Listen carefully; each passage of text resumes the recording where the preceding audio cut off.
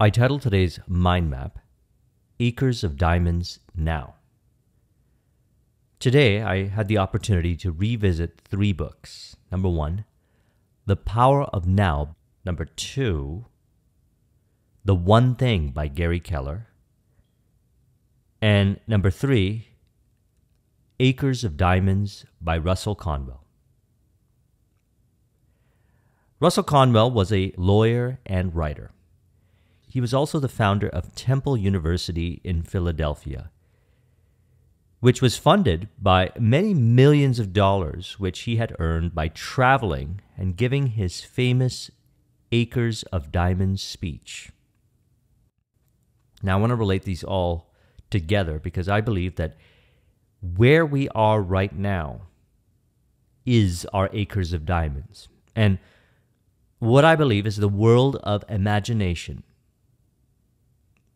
is rich with opportunity, visions, ideas, and we enable it by valuing the present moment, where we are right now. And so the story goes that there was once a farmer who heard tales about other farmers earning millions of dollars by discovering diamond mines. These tales excited the farmer to the point where he sold his own farm and spent the rest of his life wandering Africa, searching unsuccessfully for diamonds, which he never found. Meanwhile, the man who had bought his farm happened to be crossing a small stream on the property one day when he noticed a flash of light in it. He bent down and picked up a stone. It was a good sized stone, and admiring it, he brought it home and put it on his fireplace mantel just as an interesting curiosity.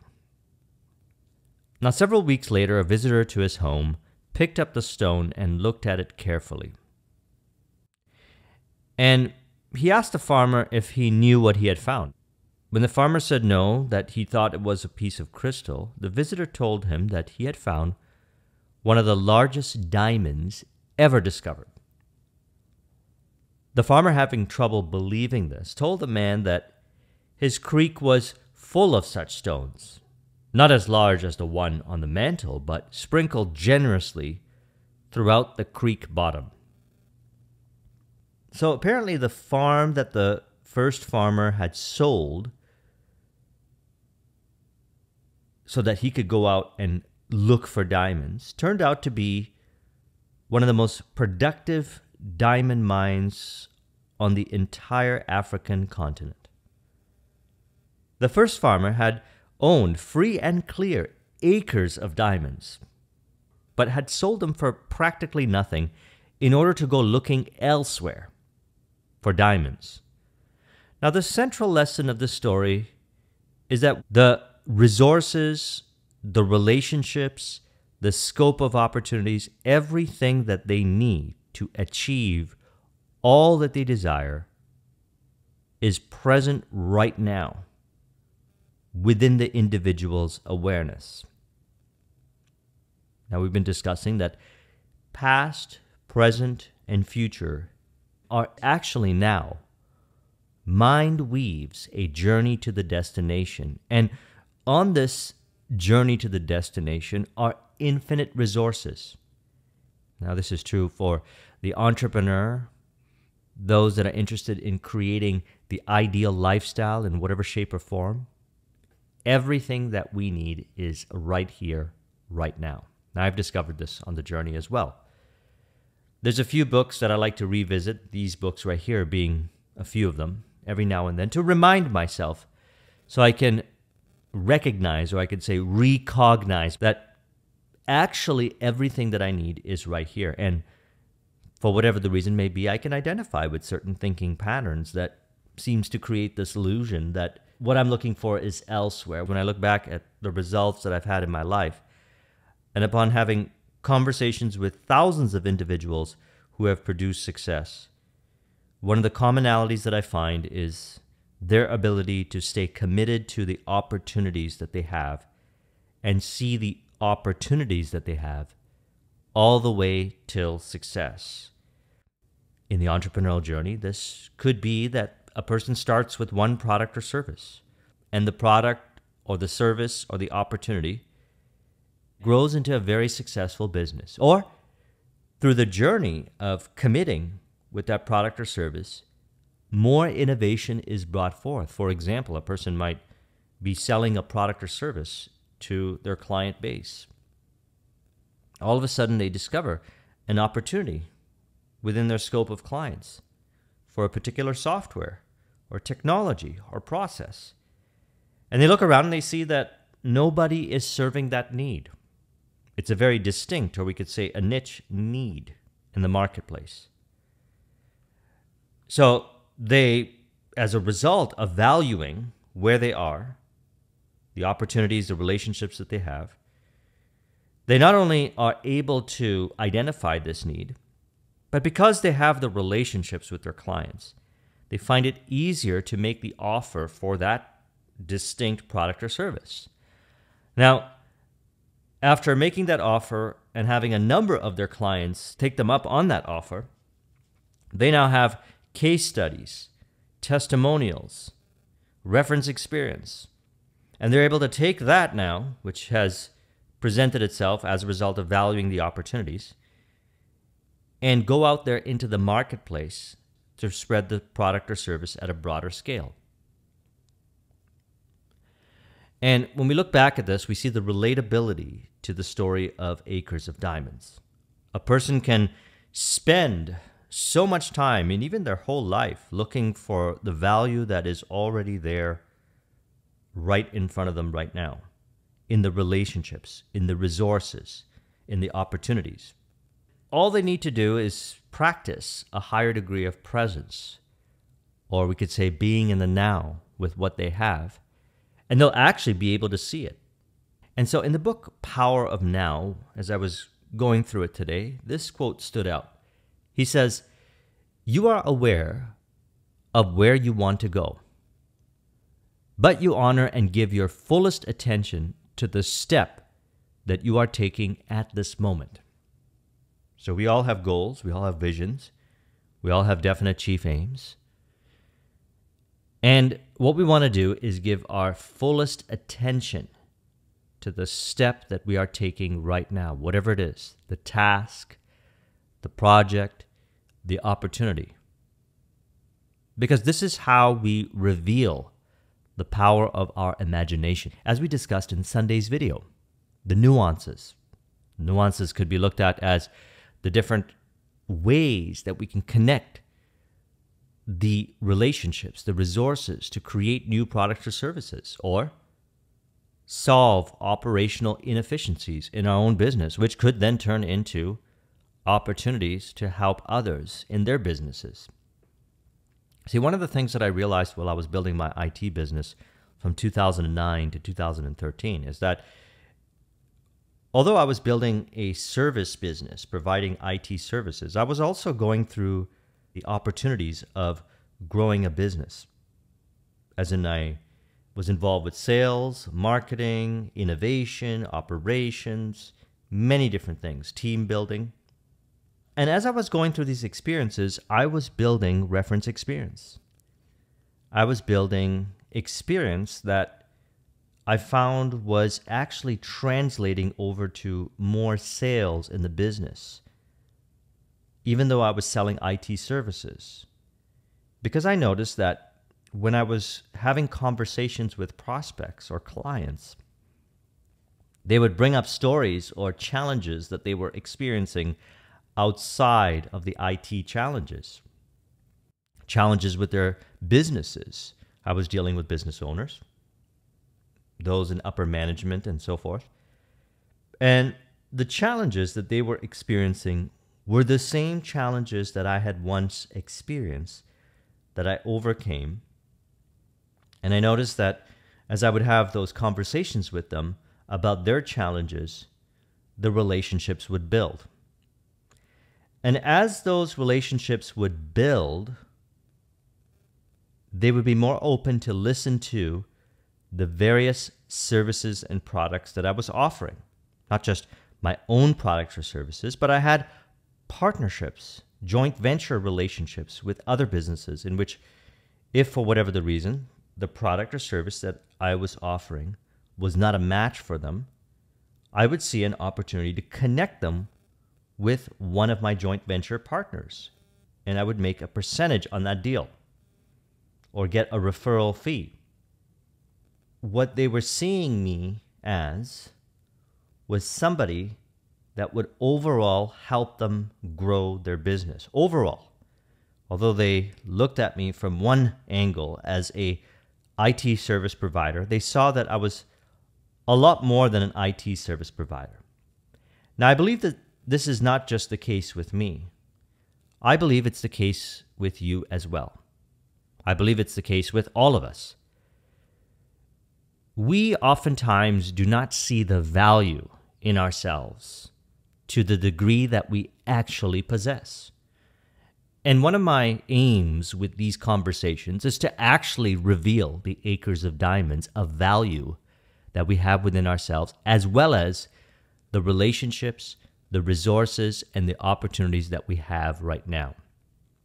And so that is why I like to revisit the same books again and again and again, because I find that by taking the information and going and applying the information and producing success with the information, when I go back to the books, the information is seen from a different perspective as a result of the inward changes that occur from applying the information and producing reference experience, the information is understood to a higher degree. So he says, if you then become excessively focused on the goal, perhaps because you are seeking happiness, fulfillment, or a more complete sense of self in it, the now is no longer honored.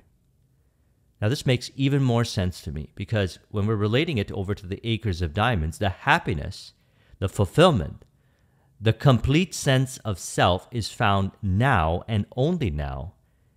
This is done by really recognizing that we are complete, happy, and fulfilled right now, doing what we really love to do, which is working on our goals, our visions, but more so from the deep value and presence in this now, in this moment, on this task, on the initiative, whatever it is that you have committed to doing. He says it becomes reduced to mere stepping stones to the future with no intrinsic value. In other words, we're not valuing the acres of diamonds, both inner and outer. He says your life's journey is no longer an adventure, just an obsessive need to arrive, to attain, to make it. Now, I mentioned this many times. I value the journey and the destination. I see them all as one. And most of, we could say, time is on the journey to the destination, depending on what our goals are. For example, this is the case in the entrepreneurial journey, those that are athletes, those that are looking to cultivate a skill. Much of the time is invested in learning the skill, practicing the skill, mastering the skill, executing on the tasks, the projects, etc. If you see those as just some step that we got to go through and we don't really want to be there, then I believe, and I've seen this in myself, I'm not seeing the value, the opportunities as to what is being presented in front of me right now in the five sensory experience. So I could reflect upon that because we are reflecting that information and see it for how it truly is, which is in harmony and in contribution to our goals and visions to higher degrees than maybe we have given it credit for. However, we have the opportunity to practice this more so, and we'll go through weaving this into the one thing by Gary Keller to help us apply this. And we'll see the power behind the simplicity of how this all works. He says, Your life's journey is no longer an adventure, just an obsessive need to arrive, when the adventure happens on the journey. You get to the destination, you feel fulfillment. There's a journey to the destination, one of adventure, one of happiness, one of fulfillment, one of experiencing the complete sense of self, which we can value by actually valuing what we're doing to a higher degree, saying, This, what I'm working on, this, what I'm doing right now, is exactly what I want to do. This is exactly where I want to be. And if not, then why are we there? That's a question that I always ask myself because for me, I really want to do what I love to do. And if I'm doing something that I don't really love to do, I want to ask myself the question why do I not feel this completion within myself? That I would have this experience externalized as not loving the experiences that I do each day. We could relate this to what we talk about in the Dr. Joe Dispenza video, where we found the relatability, surrendering to the vision realize as the key. But we surrender to the vision realize experientially by valuing where we are right now in the task, the initiative, and so forth. Now, here's a practical way of applying this. In the book, The One Thing, it states right now is all we have to work with. Our past is but a former now. Our future is a potential one.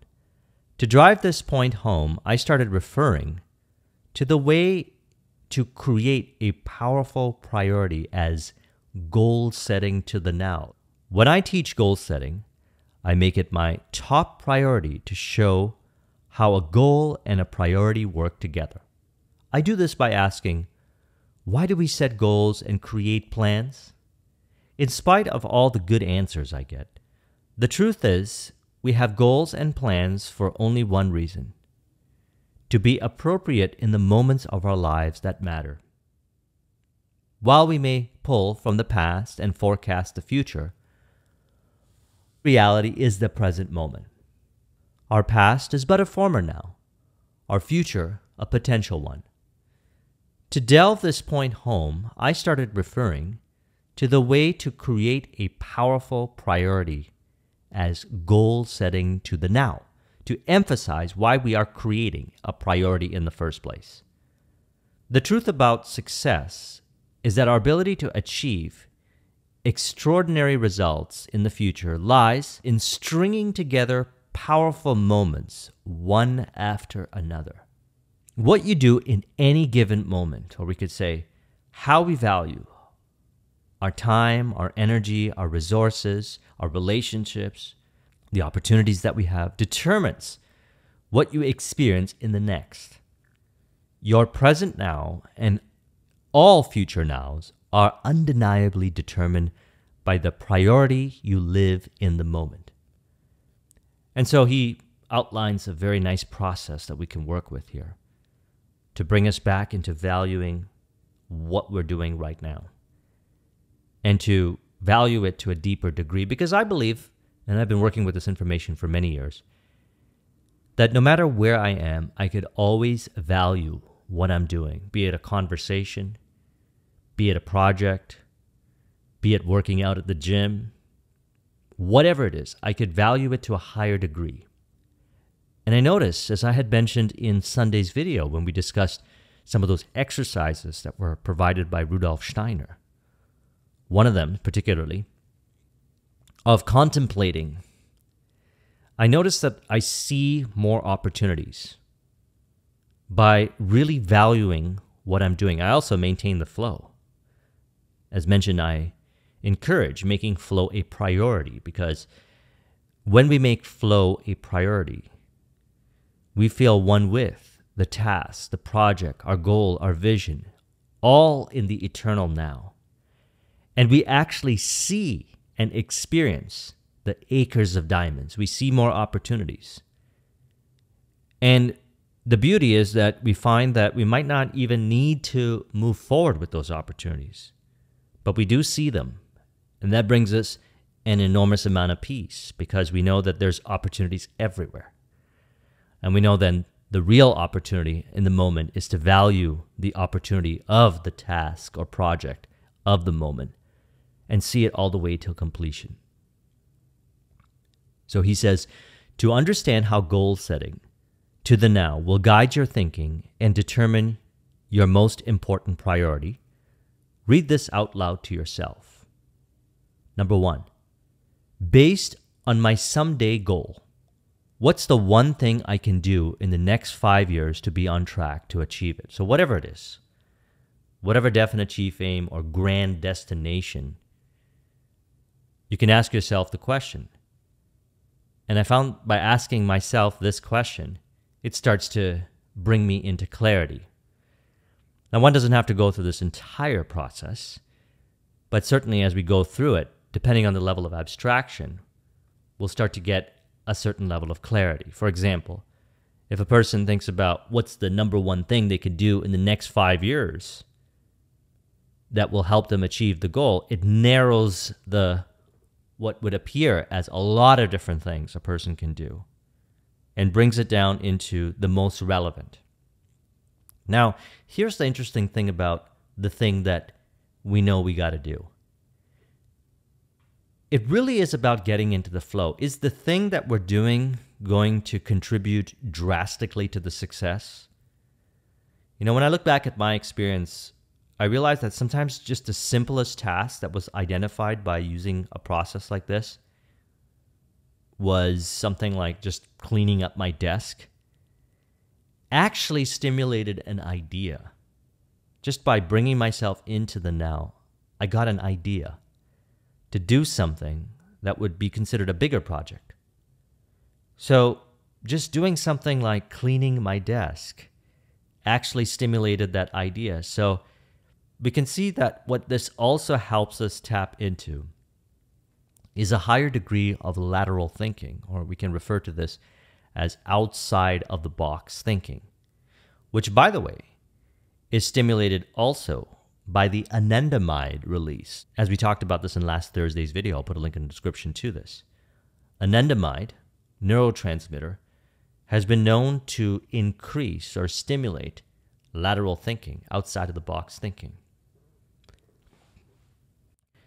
So, number two, he says, based on the five year goal, what's the one thing that I could do this year to be on track to achieve my five year goal so that I'm on track to achieve my goal someday? For example, someday goal, we can call it definite chief aim, which is to have a net worth of X amount of dollars, let's say.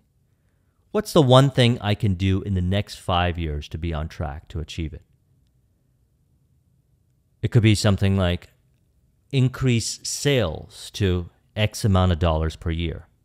That's the one thing that, if developed in the business, will result in achieving that level of net worth or that level of business success. Number two, based on my five year goal, what's the one thing I could do this year to be on track to achieving my five year goal so that I'm on track to achieving my someday goal. So it could be something like to do five prospecting calls each day, Monday to Friday, this entire year. I commit to it.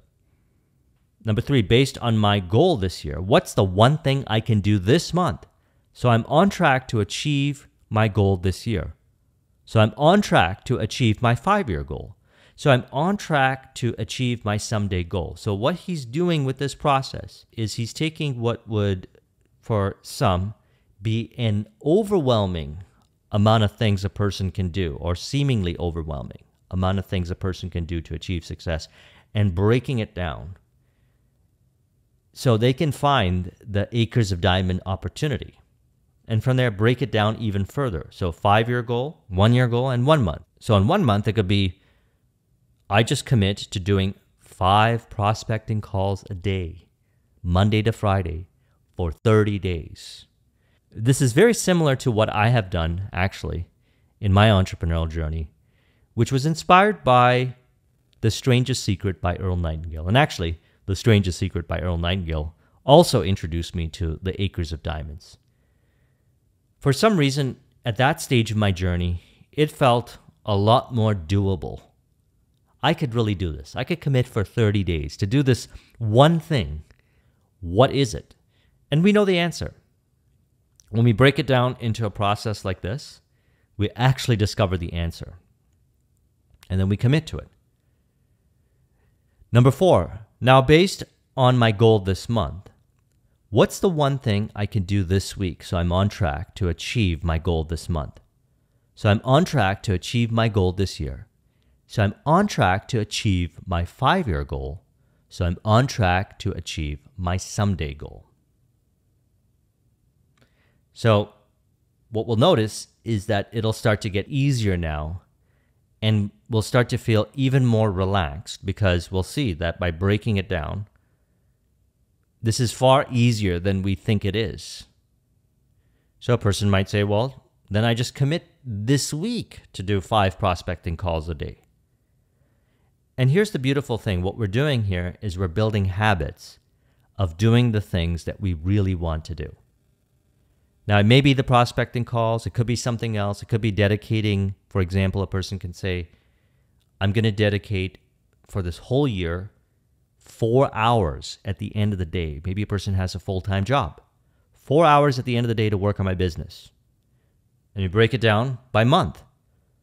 For this entire month, I'm going to dedicate four hours a day for this entire month.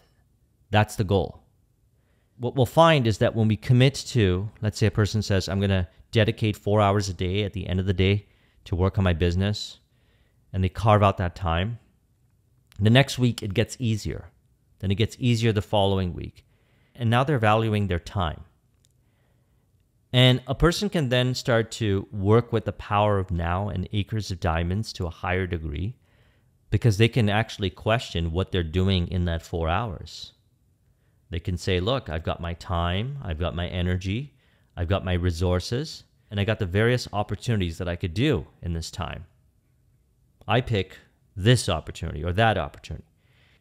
They're developing the habit of narrowing it down over to the one thing because here's what I found about achieving goals and visions. Wherever we are is a step to achieving the goal or destination. And if we value where we are right now, then we will actually be able to get to the destination in a lot more of a flow based, fun, joyous way. And we'll find some of the opportunities, such as what I shared earlier. And I've had many of these experiences as a result of working with a process like this, because what we're really doing is we're taking the acres of diamonds, the power of now, the book The One Thing, and we're combining it together in a way where we actually have the opportunity to discover what that one thing is and commit to it and actually experience. You'll notice this. When you commit to this, you'll actually experience and understand to a deeper degree, experientially, the power of now and acres of diamonds, because you will see the value and opportunities that seem to reveal themselves. Because remember, if we go back to the Acres of Diamonds story, the individual that owned the farm didn't dedicate the time and the energy to inspect what they had, to look and see if there was value in the farm. Because most likely, if they did that, they would have noticed that they had their own acres of diamonds before they sold it. And so now we break it down even further. He says, Now, based on my goal this week, what's the one thing that I can do today? So it could be for the individual. Today's the day I carve out four hours to work on my business. Or today's the day where I commit to five prospecting calls and see it all the way to completion. And this could be the first time that an individual, I've noticed this, I've had this conversation with many, and brought it down to this simplicity. And it was actually the first time where they narrowed it down themselves to the one day and they completed that day and they felt this enormous level of self esteem and self confidence at the end of the day because they know that they could do this again and again and again. And they did. They ended up making it a habit and they find that they're able to do this easier you know, many ask me, how do you stay committed to releasing these videos? Because I know how to work with the acres of diamonds, the power of now, and the one thing by narrowing it down and simply asking myself, what are the most important things that I can do each day that will help me achieve my definite chief aim, or we could say one day goal. I can break it down if I needed that clarity to the five year goal, then one year, then one month, then one week, down to this day. And then I could sequence my day accordingly. And after doing this for years, it becomes a habit. You achieve your goals, you achieve your visions, you achieve your definite chief aims, and you notice how the acres of diamonds works to a higher degree because you see relationships, resources, value, and opportunities everywhere. And because you know, then you could either do this or you could do that. You can choose exactly what you want to do, the one thing from the huge array of opportunities that you see. And you'll recognize one of the important lessons of working with this information that the opportunities were always there, are always there, and will always be there. And this will bring forth a heightened degree of inner peace and calm, knowing that exactly where you are is exactly where you want to be. And you'll experience, let's go back here. You'll experience the happiness, fulfillment, and complete sense of self by recognizing the complete sense of self in the now. So I trust you found this video to be helpful. Let's go ahead and conclude this with an auto suggestion to further encourage. You can say, Everywhere I go, everywhere I am, I find my acres of diamonds. By recognizing and valuing the opportunity that I have right now, the resources that I have right now, the relationships that I have right now, I'm able to further reveal additional opportunities, resources, relationships that are in harmony and in contribution to my definite chief aim, to my goals, my vision.